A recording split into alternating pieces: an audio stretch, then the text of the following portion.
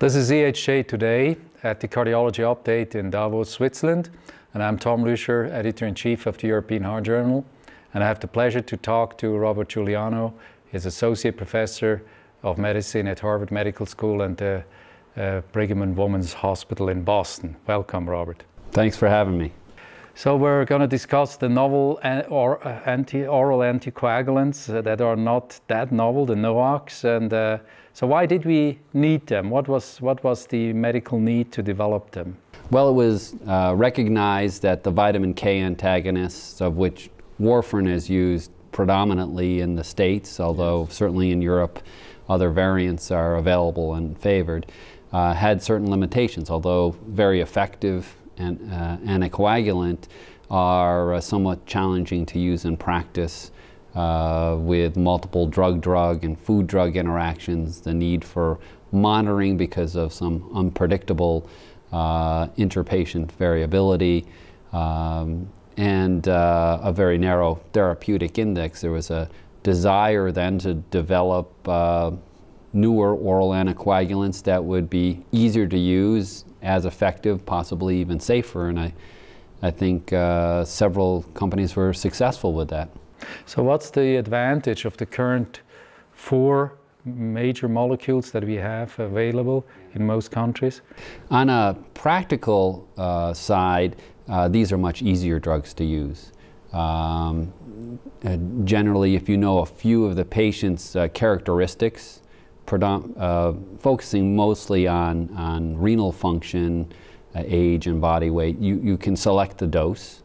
Um, there's uh, more than one dose for each of these agents depending on uh, certain characteristics. Uh, but then that's it. There's no need for routine monitoring of anticoagulant effect. You should monitor the renal function periodically.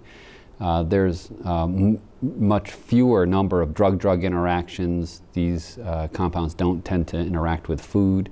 Uh, rivaroxaban being the one you should take with food just much easier to use. And then on, a, on the clinical side, looking at the safety profile, uh, each of the four NOACs that have been studied reduce intracranial bleeding by 50%, and that's their real clinical advantage. Uh, on the efficacy side, they're at least as good as warfarin, if not slightly better.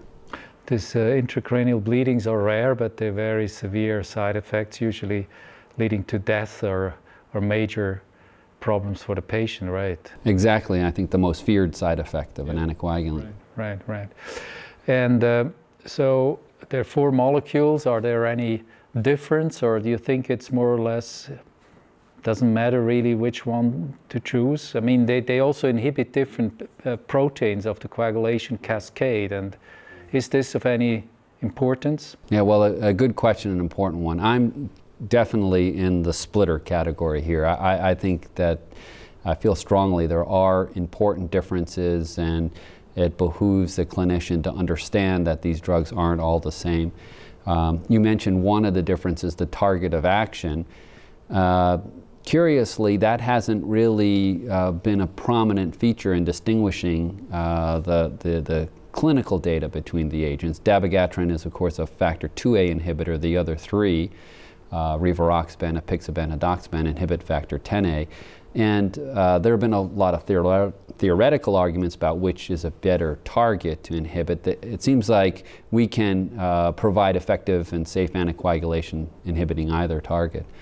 Um, but there are important differences amongst the drugs in other factors. Um, For uh, instance? A degree of, of renal uh, clearance, mm -hmm. which is about 80% with mm -hmm. dabigatran at one end and only 27% with apixaban. So mm -hmm. the need to adjust based on renal function is, is critical for dabigatran and arguably less important for apixaban. In practice, this is actually an important issue because uh, quite a substantial number of cardiovascular patients have impaired renal function, haven't they? Yes, sure. And with the aging of the population, we think that will grow. Right.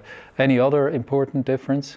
Yeah, there are important differences in how drugs are, the drugs are metabolized and yes. which of the few drug-drug interactions do exist. For example, uh, edoxaban and dabigatran have very little, if any, metabolism by the cytochrome P450 yes. pathway. So um, you don't have to worry about drugs that are potent CYP inhibitors with those two agents, where with rivaroxaban and apixaban, depending on which the drug and renal function, you may need to dose adjust. So, for instance, in HIV treated patients or transplanted patients, it may be wiser to use edoxaban and, uh, and dabigatran. One will predict less of an, an interaction, yeah.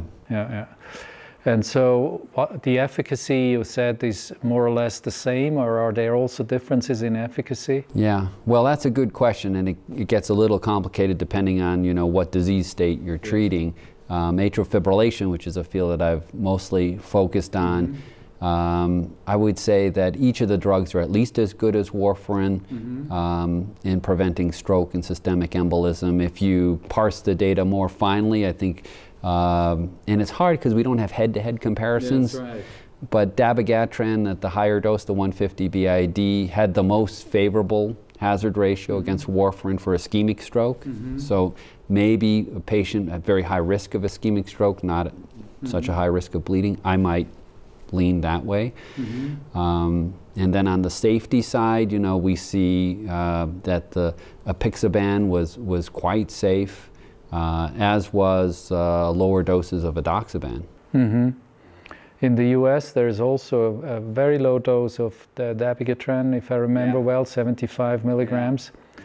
Yeah. Uh, what is that uh, couple targeted for? Yeah, a couple interesting uh, uh, points about that. Well, the FDA is uh, a very strong believer in uh, pharmacokinetic yes. uh, analyses. Because there was no outcome data with 75 No data not studied, and yet was approved for patients with creatinine clearance between 15 and 30 mm-hmm. mLs per minute, mm-hmm. Uh, the 75 milligrams BID. Now, the interesting thing is in some recent uh, unpublished data, I, think, I, I believe from marketing surveys, uh, nearly half the prescriptions in the US are for 75 milligrams BID because physicians often choose a safer or lower dose. They're afraid to of bleeding. Right. Yeah. An error of uh, commission, right, right, causing bleeding by giving a drug may be worse than an error of right. omission, right. although yeah, yeah, that's debatable. Uh, now let's talk about the different indications. Basically, yeah uh, thromboembolism has been studied, yeah. atrial fibrillation, and acute coronary syndromes. Right. Are, are there any differences between the no, yeah. different NOACs uh, in these three different indications? Yeah. yeah. well, I would say that uh, for uh, acute coronary syndrome, there's really only one drug that been, has been well studied and, and, successfully so, and that would be rivaroxaban right. at, a, at doses that are much lower than are used for atrial fibrillation yes. or VTE. These were two times 2.5 and 5 milligrams, really very low dose. Very low dose, you know, either a quarter or half the standard yes. dose. Mm -hmm and as I understand, it's approved for use in, in, in selected European countries yes, in, in ACS, yes. uh, not, not approved by the US FDA. Mm-hmm. Um, so for ACS patients, I think you really have only one choice if yes. you do have any amongst the NOACs that are approved. In VTE, we now have all four approved mm-hmm. for use in the US, and we're expecting to hear soon from the European regulatory authorities about edoxaban. Um, any differences between the four and this indication? Well, again, we don't have the head-to-head data, so that makes it challenging. Um, you know, apixaban was very safe uh, in their studies in VTE treatment, but I think all of the drugs showed uh, efficacy, at least as good as warfarin, certainly non-inferior, mm -hmm. um, much easier to use, and the safety profile is as good as, if not better than warfarin. Um, and then uh, each of the four have also been studied in, in VTE prevention. Um, somewhat less data with edoxaban, but these drugs are effective as well to prevent uh, VTE after major orthopedic surgery. And what about uh, in pulmonary embolism? In pulmonary embolism, I, I, looked a little more in depth into this topic for this meeting here in Davos. Um, the best studied drug, I would say, here is rivaroxaban. There was a dedicated study right. in pulmonary embolism called Einstein PE, so for a large number of patients, well studied. Uh, rivaroxaban was effective and, and safe. Um, but each of the other drugs in their trials of VTE enroll patients with pulmonary embolism, slightly less than half, and the uh, efficacy and safety profile were similar to the overall trial population. So the numbers aren't as large, but I have no reason to believe they're not as effective. And they recommend higher dosages in pulmonary embolism, right? Yeah, initially in treatment of VTE, the doses are uh, First couple of weeks, yeah, yeah. Are, are higher for the first week or so. That wasn't the case with edoxaban. Um, and interestingly, uh, there were very promising results with edoxaban in high-risk pulmonary embolism. I, I don't know that the other uh, trials looked at this specifically, but amongst patients with right ventricular strain or elevated biomarkers, elevated Right. BNP, edoxaban uh, was uh, significantly more effective than uh, It was 60 milligrams? Or? 60 milligram dose there, yeah. Yeah. And so, what is the perspective for uh, for uh, acute coronary syndromes? Do you think this is going to be pursued further? Yeah. Because there was always this bleeding issue. Huh? Right. Well, it's a, it's a challenging area, right? Because we also have uh, novel oral antiplatelet drugs, and we're using two. And uh, with Vorapaxar, some might say there's yet another oral antiplatelet drug that ought to be considered. And so I think, uh, I think that there's a possible role in selected patients, but I don't see a very large uh, number of ACS patients. Uh, benefiting or uh, with the addition of oral anticoagulation in the setting of so many antiplatelets. I think there are some patients we could identify. Of course, then that, that begs the question of what happens if you have a patient with both atrial fibrillation or a recent uh, VTE event and ACS, and, and that, that is a wide open area. So that's for the next interview. Thank you very much for uh, coming to our studio. Yes, thank you for inviting me.